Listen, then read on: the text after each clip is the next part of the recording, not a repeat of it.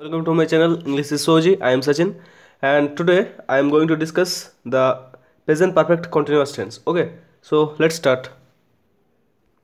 Okay so আমরা present perfect continuous tense কখন use করব আমি বলেছিলাম যে প্রেজেন্ট কন্টিনিউয়াস টেন্স এবং প্রেজেন্ট পারফেক্ট কন্টিনিউয়াসের মধ্যে একটাই ডিফারেন্স হচ্ছে যেটা যে কন্টিনিউয়াস টেন্সে কোনো নির্দিষ্ট সময় উল্লেখ থাকবে না এবং প্রেজেন্ট পারফেক্ট কন্টিনিউয়াস টেন্সে একটা নির্দিষ্ট সময় উল্লেখ থাকবে অর্থাৎ আপ টু নাও অর্থাৎ কোনো কাজ অনেকক্ষণ ধরে চলছে, এরকম বোঝাবে।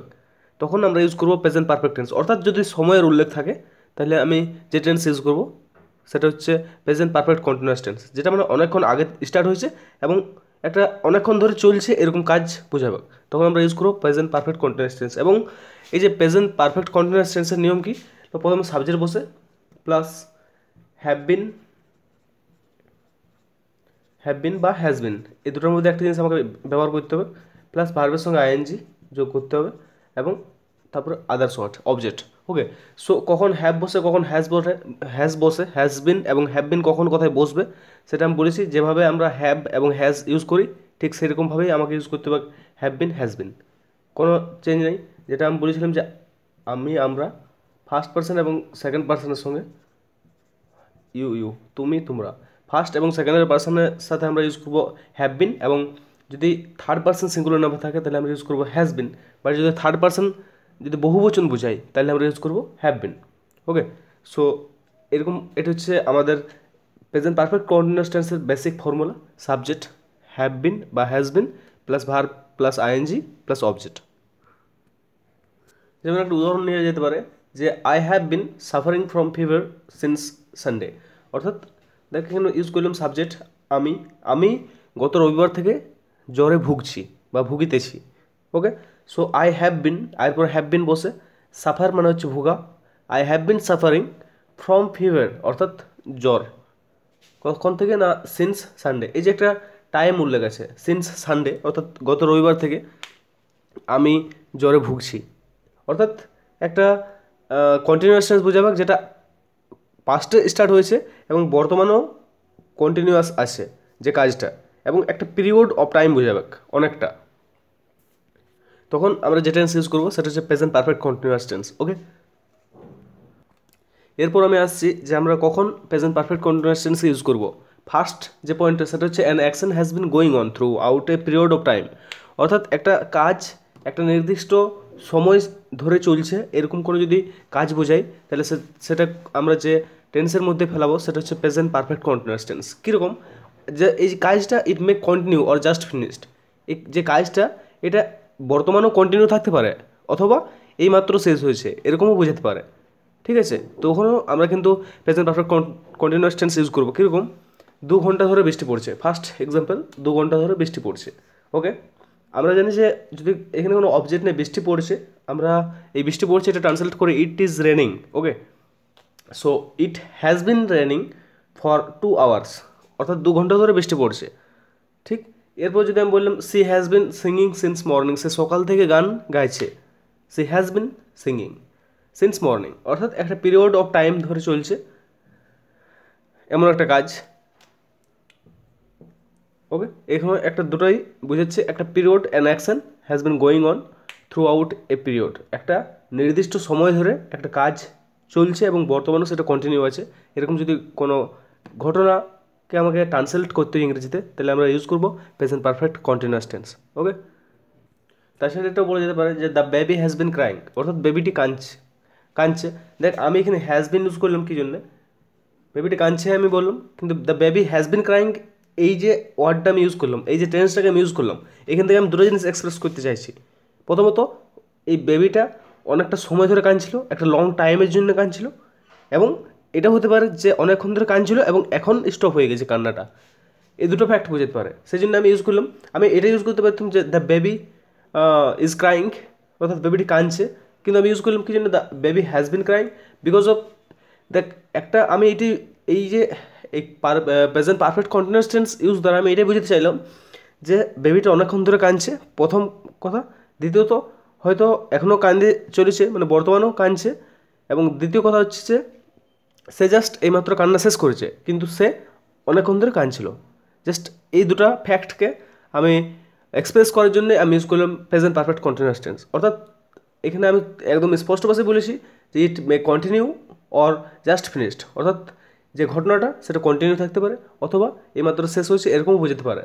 তখন আমরা যে টেন্স ইউজ করব, সেটা হচ্ছে present perfect continuous tense okay অর্থাৎ একটা যদি লং ডিউরেশন অফ টাইমের মধ্যে কাজটা হয়, তাহলে আমাকে যে সেন্টেন্স আমাকে যে টেন্স ইউজ করতে হবে, সেটা হচ্ছে present perfect continuous tense next one যে পয়েন্ট আসছে, সেটা হচ্ছে উইথ কন্টিনিউটি ভার্বস অর্থাৎ যে ধরনের ভার্বগুলো আমাদের কন্টিনিউটি প্রকাশ করে। যেমন learn lie rain or sleep study দেখ স্টাডি তো অবশ্যই স্টাডি একটা সাময়িক সময়ের জন্য করা যায় বাট স্টাডি এলে হচ্ছে long term verb continuity verb যে ভার্বগুলো লং টাইম ধরে চলে।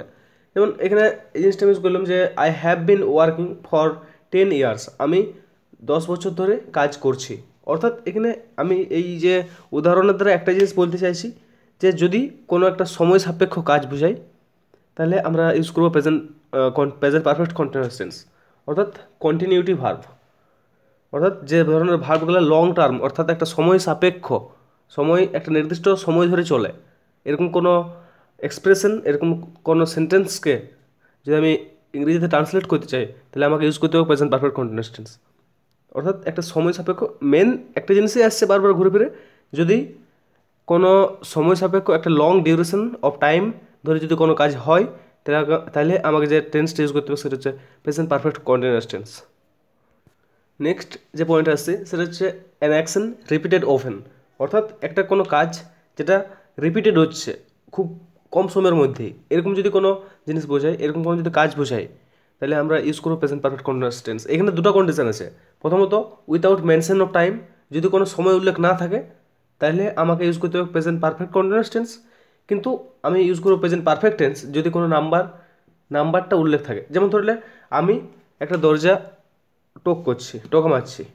আমি নক করছি একটা দরজাকে। এরপর এই যে কাউন্টটা হয়তো আমি দশবার নক করলাম ওই ডোরটাকে তারপর হয়তো আমার জন্য দরজা খোলা হলো। তাহলে যদি এখানে দেখ, যখন আমি দরজা নক করছি, তখন এখানে দুটো জিনিস হয়েছে পারে একটা দেখ, এখানে আমি সময় উল্লেখ নাই। I have been knocking at the door আমি দরজাটিতে ই করছি নক করছি। এবং এখানে দেখ ই আছে যে I have been knocked I have knocked ten times এখানে একটা উল্লেখ আছে যে কতবার আমি এটাকে রিপিট করেছি। অর্থাৎ যদি নাম্বার উল্লেখ থাকে, তাহলে আমাকে যে টেন্স ইউজ করতে হবে সেটা হচ্ছে প্রেজেন্ট পারফেক্ট টেন্স কিন্তু যদি নাম্বার উল্লেখ না থাকে, যে এই অ্যাকশনটা কতবার রিপিটেড হয়েছে, সেই রিপিটেডের নাম্বারটা যদি উল্লেখ না থাকে, তাহলে আমি ইউজ করব প্রেজেন্ট পারফেক্ট কন্টিনিউয়াস টেন্স দেখ, একটা জিনিস লক্ষ্য কর প্রেজেন্ট পারফেক্ট কন্টিনিউয়াস টেন্স তখন ইউজ করা হচ্ছে যখন সেটা একটা অনেকক্ষণ সময় ধরে বোঝানো যাচ্ছে। একটা লং পিরিয়ড অফ টাইম ধরে বোঝানো যাচ্ছে। তখনই আমরা ইউজ করছি প্রেজেন্ট পারফেক্ট কন্টিনিউয়াস সাহায্য নিচ্ছি, তখনই। যখন আমরা এই জিনিসটাকে এক্সপ্রেস করতে চাইছি যে সময়, এই যে কাজটা, এটা একটা লং টার্ম একটা লং সময় ধরে হয়েছে। এই যে ভাবনাটাকে প্রকাশ করতেই আমরা সাহায্য নিই বারবার প্রেজেন্ট পারফেক্ট কন্টিনিউয়াস টেন্সের তাছাড়া আমি প্রেজেন্ট প্রেজেন্ট পারফেক্ট টেন্সের সাহায্য নিয়েও আমি এই যে, এই ধরনের ট্রান্সলেশনটা করতে পারি। কিন্তু যদি মনে রাখবি, যদি নাম্বার উল্লেখ থাকে, অবশ্যই আমরা ইউজ করব present perfect continuous tense sorry present perfect tense যেমন আরেকটা উদাহরণ দিয়ে যেতে পারে যে, সে শাড়ি বিক্রি করছে। সে দুপুর থেকে শাড়ি বিক্রি করছে। এই জন্য আমি বলি যে he has been selling saris since noon okay এরপর আমি বলছি যে he has sold six saris since noon সে দুপুর থেকে ছটা শাড়ি বিক্রি করছে।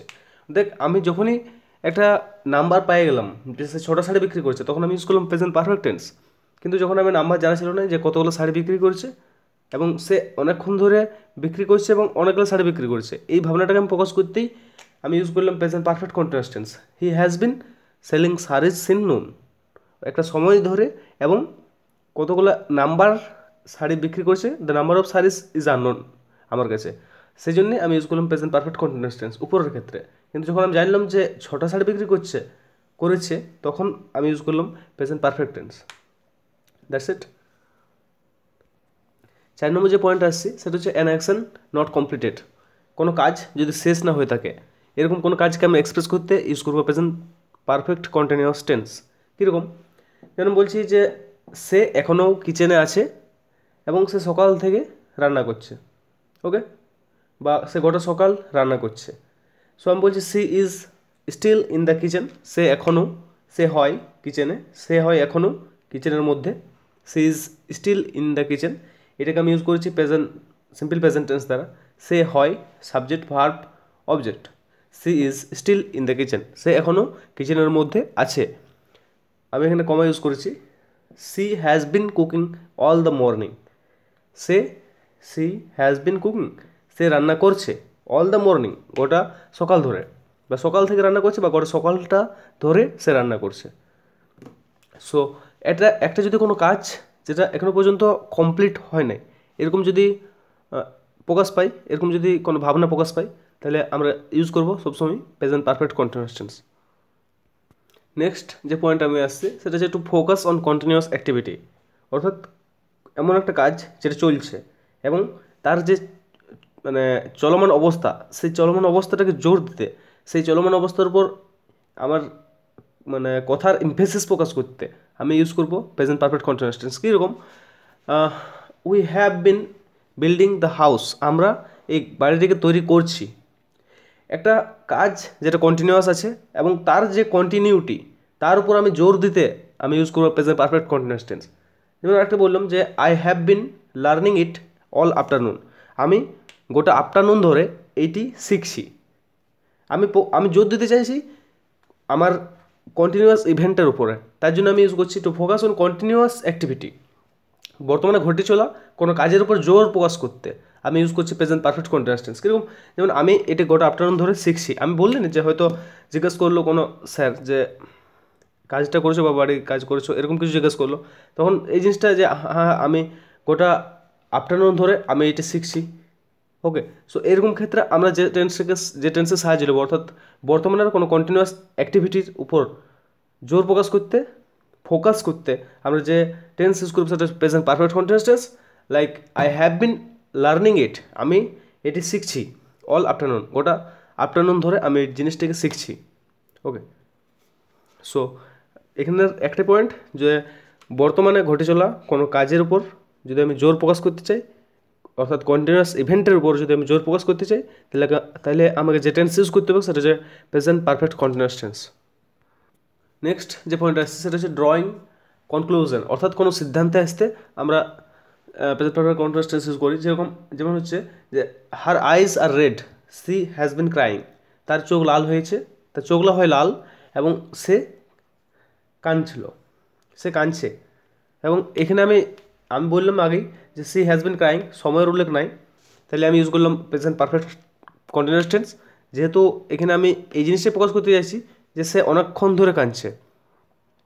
অর্থাৎ যদি কোনো সিদ্ধান্তে আসতে চাই, তাহলে আমরা অনেক সময় ইউজ করি প্রেজেন্ট পারফেক্ট কন্টিনিউয়াস টেন্স তাহলে আমি এখানে প্রেজেন্ট কন্টিনিউয়াস টেন্স আলোচনা করার সময় আমি এই জিনিসটা বললাম, প্রথমে বললাম যে তার ফর্মুলা কি? Subject plus has been have been বারোর সঙ্গে আইএনজি প্লাস অবজেক্ট এবং কখন আমরা প্রেজেন্ট কন্টিনিউয়াস টেন্স ইউজ করব প্রেজেন্ট পারফেক্ট কন্টিনিউয়াস টেন্স যদি কোনো কাজ পূর্বে আরম্ভ হয়েছে এবং স্টিল কন্টিনিউ আছে এবং একটা পিরিয়ড অফ টাইম ধরে চলছে, যদি সময় গিভেন থাকে, তাহলে আমরা ইউজ করব প্রেজেন্ট পারফেক্ট কন্টিনিউয়াস টেন্স তাছাড়া এবং যদি সেই কাজটা ভবিষ্যতেও চলার সম্ভাবনা থাকে, এরকম একটা যদি থিমকে বোঝাতে চাই, আমরা ইউজ করব present perfect continuous tense next আসছি if the repeated action is unknown আমি বললাম যদি কোনো কাজ রিপিটেড চলছে বর্তমানে রিপিটেড হচ্ছে, কিন্তু তার যে নাম্বারটা, সেটা আমার কাছে আননোন আছে। যেন বললাম যে আমি দরজাটা নক করছি।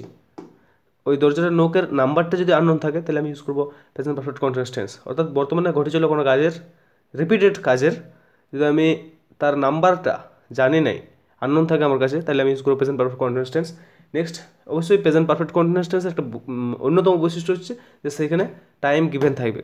টাইমের উল্লেখ থাকবে, অবশ্যই। প্রেজেন্ট কন্টিনিউয়াস টাইমের উল্লেখ থাকে না প্রেজেন্ট পারফেক্ট কন্টিনিউয়াস টাইমের উল্লেখ থাকবে।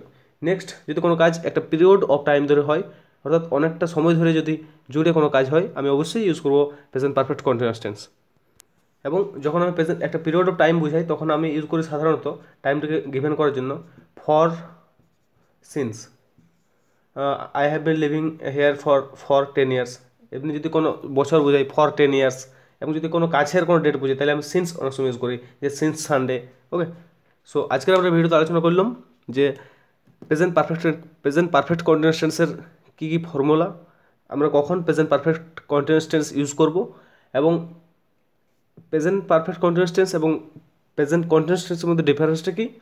এই জিনিসটা সম্পর্কে আজকে আমরা এই ভিডিওতে আলোচনা করলাম।